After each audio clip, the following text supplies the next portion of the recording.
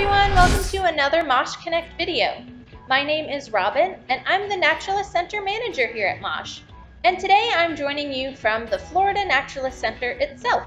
Today is National Frog Jumping Day. And today we're going to be discussing how do frogs jump? Frogs have very strong muscles, but that's not the only thing that helps them jump. It's actually their super stretchy tendons. Tendons are what attach muscle to bone. So with their super stretchy tendons, when a frog is getting ready to jump and crouched down, much like the skeleton of a American bullfrog, as you can see, he's all crouched down.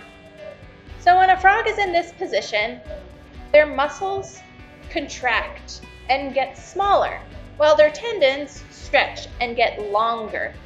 This allows energy to be locked and loaded into the muscles and the tendons.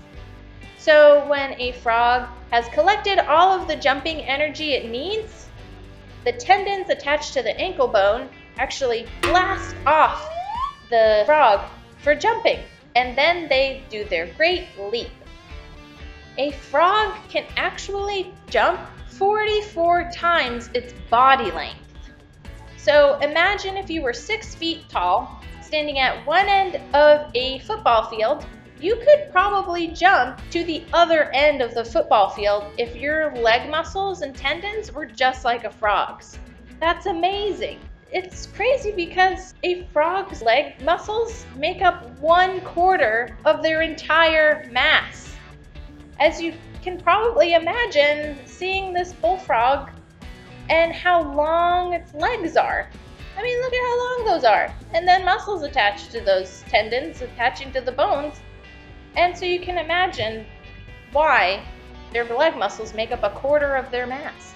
It's crazy. In today's video, we have a special guest. Her name is Evin, and she's our maker space coordinator here at Mosh. And she's going to be teaching us how to make an origami jumping frog.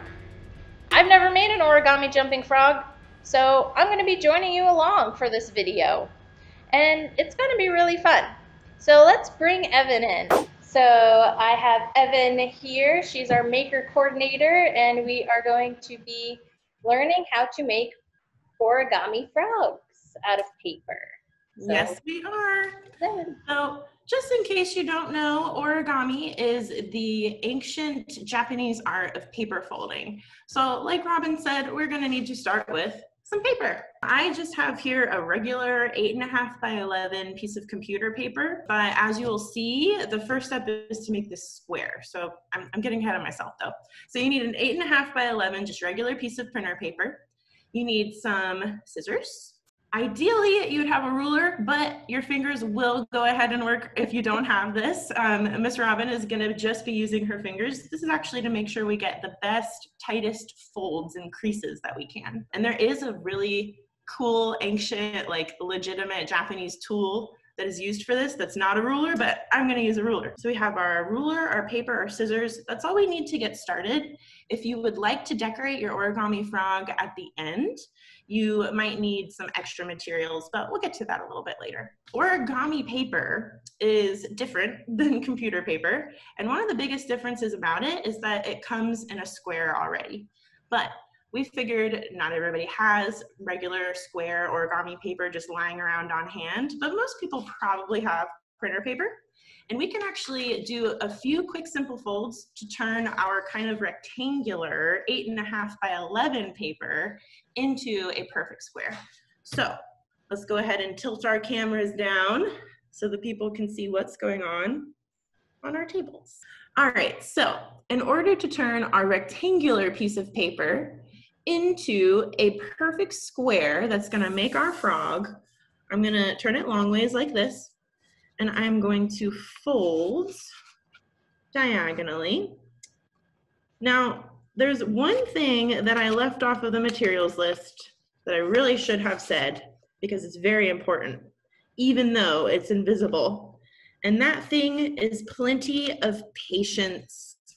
You're gonna need patience to do this, just a little bit, but a little bit goes a long way, right, Robin? Yep. And you're also going to need some really good attention to detail, all right? So I just wanna try to show here, my fold, there's nothing overlapping, right? This edge of the fold lines up perfectly with my edge of my paper. I don't want anything overlapping. We really need everything to line up pretty perfectly here. Okay, now you're gonna do this a lot in origami, so just get used to it. Completely unfold what you just did. And you're gonna do the same thing in the opposite direction. Now I'm not using my ruler quite yet, just because these are still some really simple folds and it's easy enough to do it with our fingers. It's really kind of near the end that we're gonna really want that ruler so that when all the paper's folded up on itself, you can use it then to really get everything super folded. Okay, so now I have an X on my paper, right? And this is again a really, really common thing with origami we are making ourselves guidelines here. So the folds aren't making shapes quite yet. We're basically just using the folds to give us a reference of, of where to do the next thing. So we're gonna fold them down again, and then one more time until you have what looks like kind of like a little house maybe. And then you're gonna flip it over so that your folded parts are touching the table. And you're gonna take that top triangle and fold it back.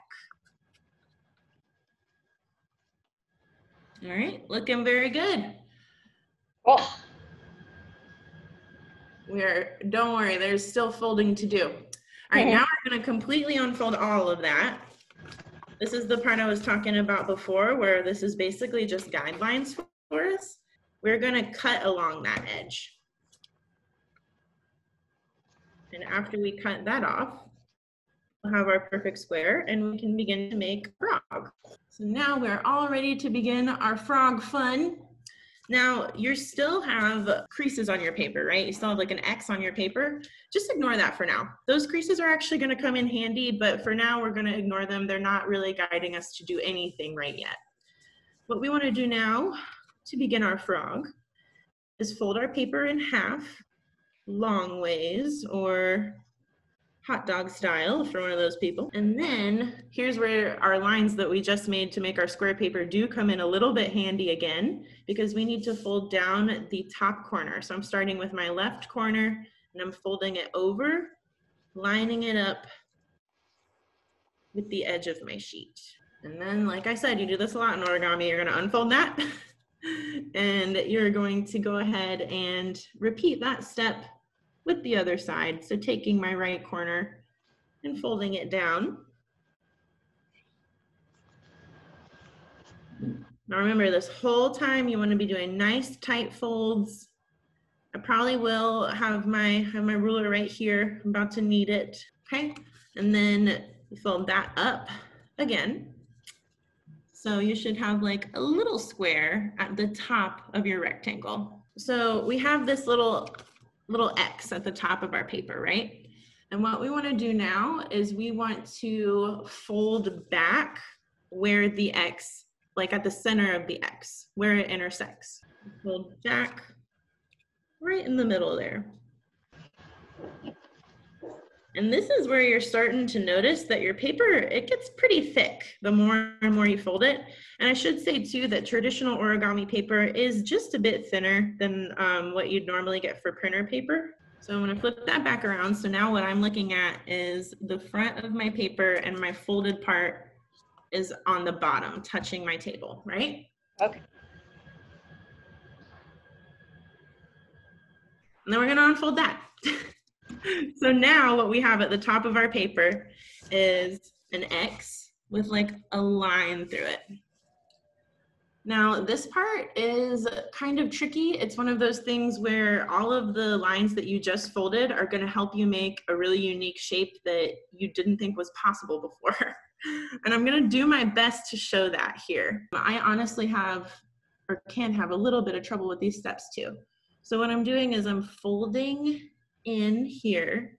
I really want these two lines to kind of touch like this, all right? So I'm pinching, do my best to show here, and then putting it down, and then I'm gonna flatten this out like that, and I'm gonna fold everything down really good So see now what I kind of have is like an arrow shape or maybe like a, a very tall house. And there is, my paper goes like this at the very top where, where it meets. There you go, Robin. Very nice. Okay, and we're gonna have these like kind of like springy folds are at the top still, so not touching our table. Um, okay, we have that. Now what we need to do is take the bottom edge here and we want to go ahead and fold it up until the bottom edge of our paper is touching the bottom of the little triangle that's on top. I'm running into this issue. I hate it when paper does that when you're trying to fold. Mhm. There we go. So don't be afraid, you know, I feel like pro origami people just like keep their paper on the table and they're like, bam, bam, bam, bam, bam, bam, and then it's just built. But don't be afraid if you're kind of an amateur origami maker like me. You can like literally pick it up and just really work with it. Make sure every single fold nice and tight, nice and flat too. We don't want any wrinkly designs. So at this point, I'm just gonna kind of start smoothing over my folds as I go.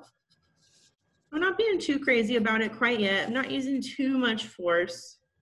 But near the end, when we're really finishing all the leg folds, the paper really does become very thick and it really is helpful to have something to smooth with, like, like a ruler or something like that. Maybe a paint stick even. Now we have this kind of a shape. We have our springy kind of triangle up here, right? And then we have this fold right down here. And everything is facing up. Our folds are facing up still. What we want to do now is form the frog's front legs. Now, the best way that I can describe this is with your folds, you want to make like a perfect diamond shape on here, all right? So we're going to fold these little parts up So I just did one of them. All right. And as you can see, when I fold the other one, we're really gonna have this lovely kind of perfect diamond right up here. My diamond is a little bit less than perfect, but that's okay too. Part of the appeal of a lot of these is that there is a handmade nature to them, right? If we wanted it to look like a machine did it, we just ask an origami machine to make this. So, get my finished frog here. Yeah, that looks good. So what we just made are these little parts right here. We're going to be forming his body a little bit more, his mid part. Um, so I think it's easiest personally to like kind of turn it like this because what we need to do now is fold these parts in a little bit. And what we're aiming to do here is get the, these edges to line up here. So we wanna make a line going down like that, if that makes sense, a line down the center. And we're just kind of folding our edges in and uh, trying to achieve that center line. Paper's really adding up, huh, Robin? Yep. So this is the part where if you don't have a scraper tool like a ruler, you want to really be utilizing your thumbs and uh, your thumbnails, right? The center of your finger can really do a lot to smooth out a line. So go ahead and smooth out all your folds uh, at least two or three times because the tighter these folds are at this stage, the easier our job will be near the end of the video. All right, so I've got all my folds nice and tight here. And this is what I have so far. It's not perfect, but it'll do. We're looking good. I think we're on the way to have some really good frogos here. So what we're gonna do now is fold this bottom part up until it is touching the center like that.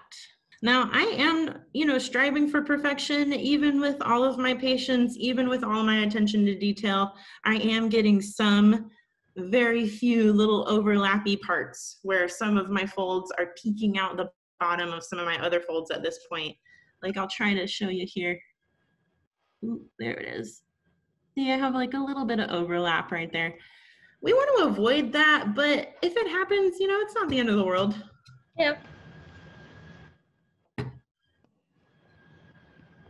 Folds are getting really, really tight though, or really thick, excuse me. So I am flattening and scraping, especially along all the corners there. And like I said, you can do this with the side of your thumb your, or your thumbnail, some combination of the two. It's almost like a little, it might be from when we made our paper into a square, but there's like a little fold hanging on that's showing us what's, what we're gonna do next. And that is fold the corners of our bottom triangle down. Just like that, all right? You do want it to still line up with the bottom here and be nice and straight.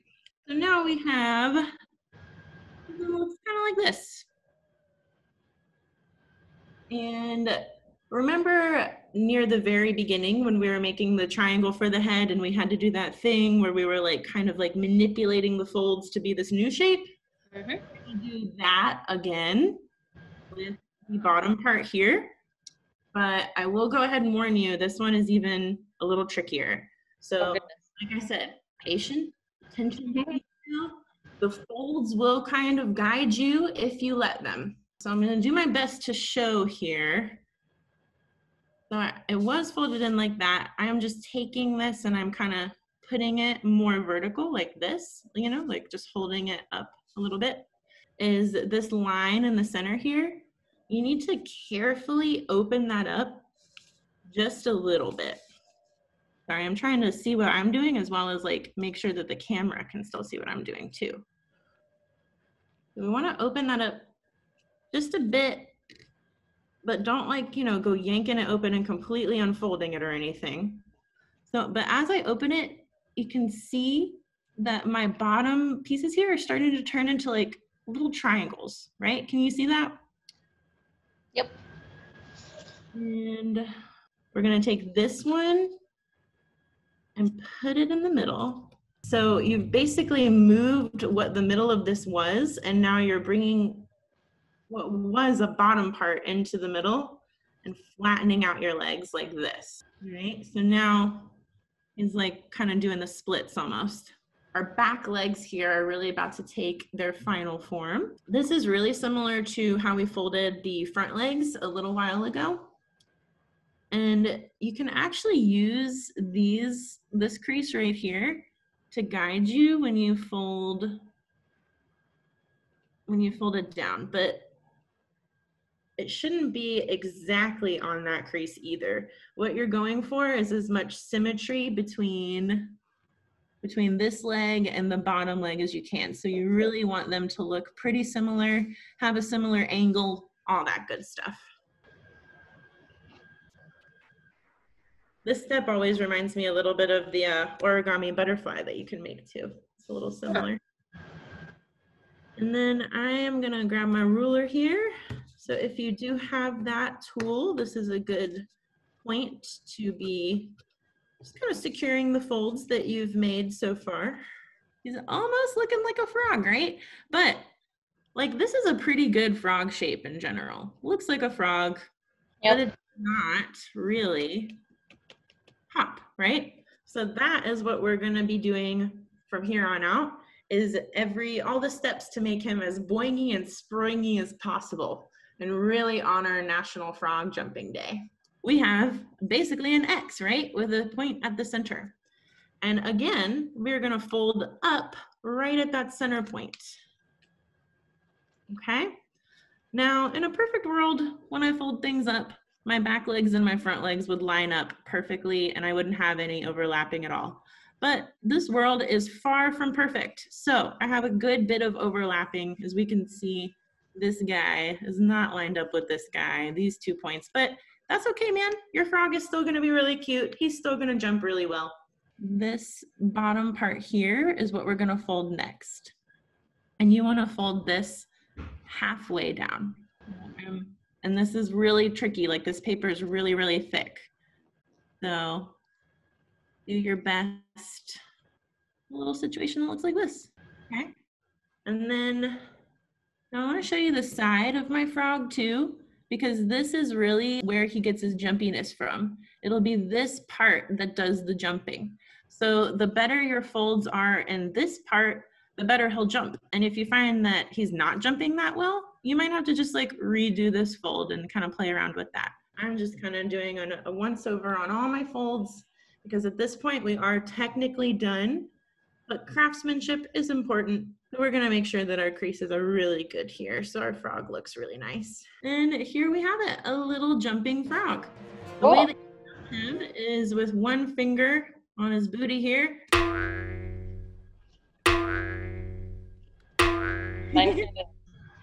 Skirts along. Your optional materials are going to be whatever you like to color with markers, crayons, colored pencils. I use colored pencils. And you can color your frog just a straight up green, like I did kind of a springtime green. But you can also look at pictures of frogs on Google and try to match your color scheme to your favorite actual species of frog. I also added googly eyes just because I really think that everything in the entire world can be improved if you add googly eyes to it. I have googly eyes on some of my light switch. Um, I also added this little pipe cleaner tongue here. All I did was curl that around a pencil, and that's how I got this kind of like spirally shape. And then I just glued everything on. The pipe cleaner, the eyes, they add a little bit of weight to everything. Mm. So it will affect the jump just a little bit. See? But I have gotten it to where I can do perfect flips with him too. So sometimes they make the jumping worse. Sometimes they make it like just that much cooler and you can do like tricks with the origami frog. But I love these little origami jumping frogs. They're a perfect fidget. I made one for my boyfriend. He keeps it on his desk at work when he goes into his desk at work, which hasn't been that much lately. But when he is in the office, it's a fun little thing to play with. If you're like me and you need a fidget for 90% of the social things that you do, this is a pretty cool little fidget and you can just make it out of paper. I love origami, I love frogs, and so I love the origami jumping frog. I hope you enjoyed today's video. If you'd like to see more Mosh Connect content, go to themosh.org slash educate slash connect. We have tons of content on there that's really exciting and interesting to watch. We'll hope to see you soon. Bye! Mosh Connect relies on support from our community. If you like what you just saw, please consider donating at www.themosh.org and give us a like on social media at MoshJax so you can stay connected.